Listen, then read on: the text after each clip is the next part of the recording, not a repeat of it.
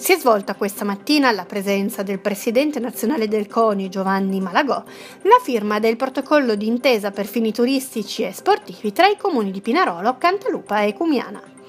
Il protocollo ha come obiettivo la realizzazione di iniziative a carattere sportivo, culturale e sociale al fine di valorizzare e promuovere il territorio del Pinerolese, mettendo a disposizione le numerose strutture alberghiere e polisportive presenti nei comuni coinvolti.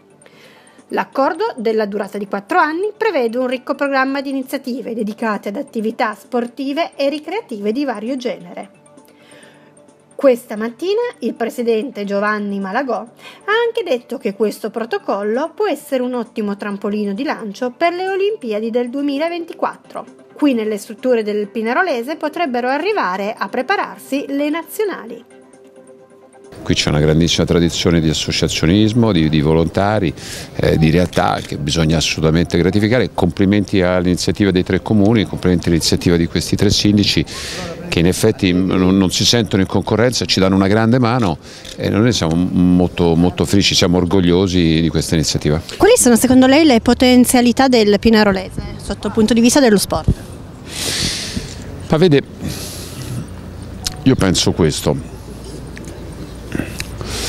che eh, in Italia eh, esistono in questo momento 145.000 associazioni sportive distribuite sul territorio più o meno, più o meno rispettando quello che sono la popolazione, la, la, la dimensione della regione e lo storico. Lo storico, mi spiego meglio, eh, a Iesi diciamo, è dimostrato che c'è una scuola di scherma, in particolare di Fioretto, dove è più facile uscire fuori.